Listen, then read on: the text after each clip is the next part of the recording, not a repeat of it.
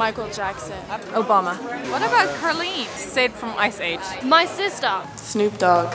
I would like to see an all woman. Cindy Sherman. Jane Birkin. Well, my sister's last cover was pretty amazing, so probably her again. Myself. Myself. Me, myself, and I. Myself?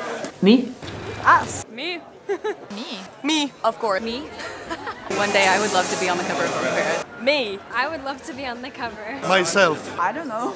Myself, of course. I would like to see myself. Me.